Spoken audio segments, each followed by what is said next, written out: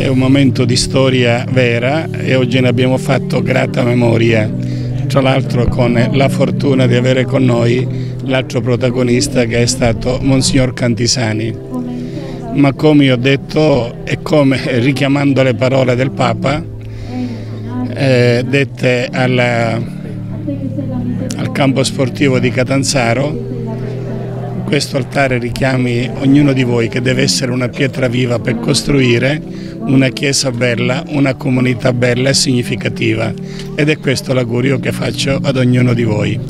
L'altare ancora, ho detto, richiami il nostro battesimo, come l'altare è vestito, ornato, abbellito, incensato, così quando eravamo bambini siamo stati vestiti, abbelliti, benedetti e poi abbiamo ricevuto il battesimo e così è la nostra vita un richiamo a questo grande valore della fede che non è un riempitivo della vita ma è il cuore, il senso, il dono più grande che Dio ci ha fatto.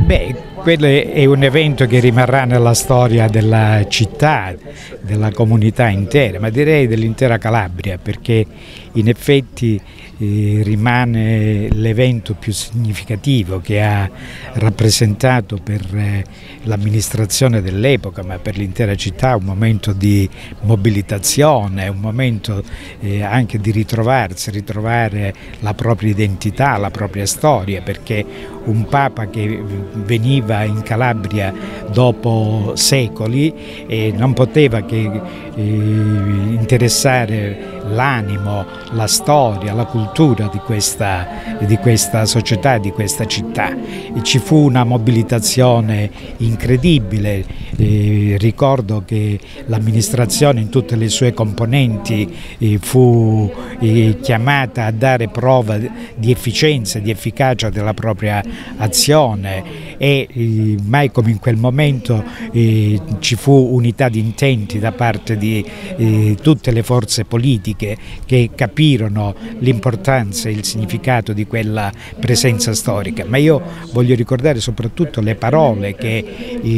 San Giovanni Paolo II ebbe a dire in quella circostanza che stamattina in parte sono state ricordate anche da eh, Monsignor Bertolone e che cioè il, il, il Papa Giovanni Paolo II sin da allora ebbe ad invocare un impegno unitario da parte di tutte le componenti eh, sociali, politiche, culturali, istituzionali per fare sintesi intorno ad un progetto di cambiamento, di riscossa di questa, di questa terra. Purtroppo devo dire che a 35 anni di distanza eh, quel, quel messaggio rimane di una drammatica attualità e forse il significato di questa manifestazione di oggi deve essere indirizzata proprio a questo. Io mi permetto di lanciare un appello che cioè questa data del 6 ottobre sia ricordata ogni anno perché è un, un ricordo doveroso verso un evento storico che rimane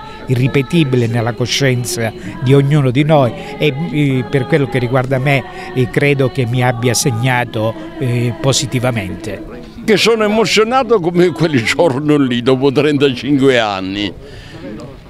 Ho ricordato che allora dissi al Papa, un Papa ha fondato questa chiesa, un altro la viene a rifondare, è una chiesa nuova, io voglio sperare che questa celebrazione così bella e così significativa voglia appunto significare l'impegno da parte di tutti a fare la propria parte per costruire una chiesa bella, una chiesa che rivela il volto di Cristo e perciò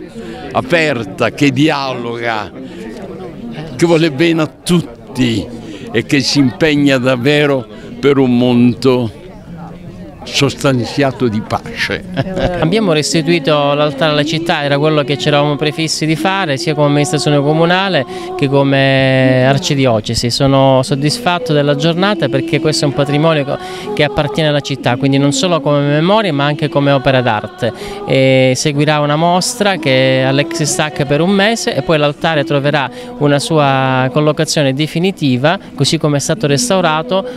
all'interno del Parco della Biodiversità grazie alla disponibilità del Presidente Sergio Abramo e del Presidente Michele Traverso che hanno fattivamente collaborato a che questo sogno della città si realizzasse.